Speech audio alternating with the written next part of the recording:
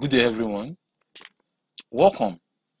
In this video, I will show you how to put a picture behind text in Microsoft Word.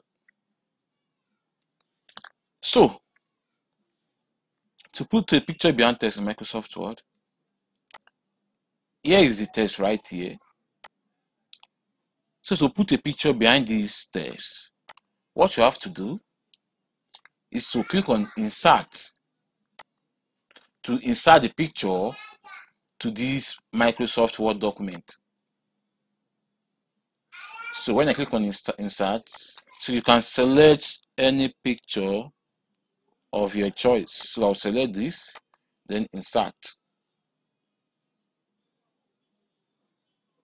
As you can see, here is the picture, but it's not behind the text. So what you have to do is to click on the picture, click on text wrap, then select behind text.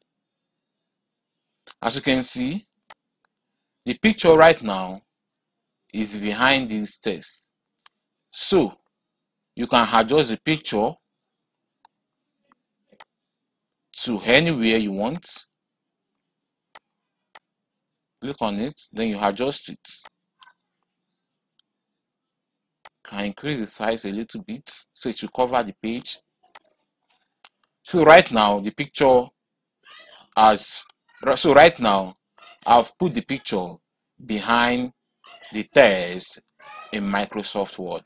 Hope this video helped. Please give it a thumb up and don't forget to subscribe to our YouTube channel. See you in the next video.